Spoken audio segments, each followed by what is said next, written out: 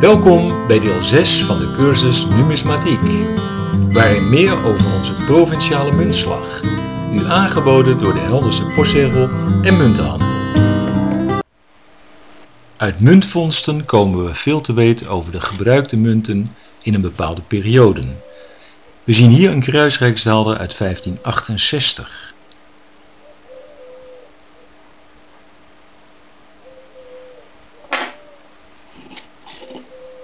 Dit is een Philipsdaalder uit 1561.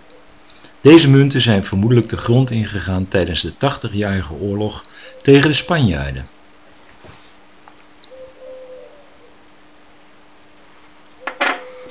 En ook wat grensgeld uit het nabijgelegen Duitsland. Dit is een halve daalder uit Paderborn, 1564.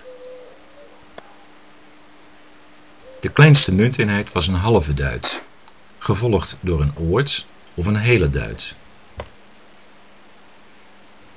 Deze komt uit Gelderland, 1755, met het muntmeesterteken gans.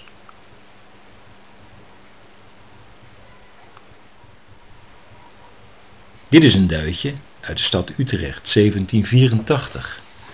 Wat een prachtig stadswapen. Na de duiten komen de stuivers. Dit is een bezemstuivertje Holland 1764. Een goede catalogus is juist bij dit verzamelgebied onontbeerlijk. Bij muntvondsten komen er elke keer weer nieuwe jaartallen of overslagen tevoorschijn.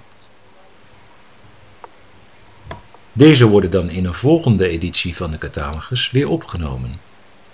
Wanneer er een nieuw jaartal werd aangemunt, werden de eerste exemplaren in zilver geslagen. Een geliefd kerst- of nieuwjaarscadeau. Deze komt uit stad Utrecht, 1739. Een dubbele stuiver uit West-Friesland, 1765.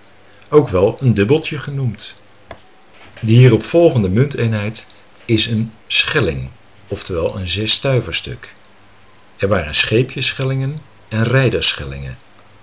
Dit is een scheepjesschelling uit Zeeland, 1774. Friesland maakt een uitzondering. Die noemt zijn tien stuiverstukken een halve gulden. Dit is er een uit 1696. Op de guldens, de halve guldens, de drie guldenstukken staat op de achterzijde de Nederlandse maagd. Een gulden Utrecht 1794. Let op het prachtige patina.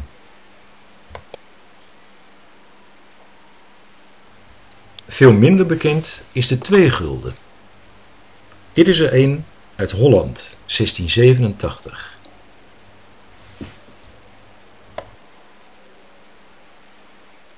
Een driegulden stuk 1793 West-Friesland. De kabelrand is aangebracht tegen het zogenaamde snoeien. Is het geen plaatje?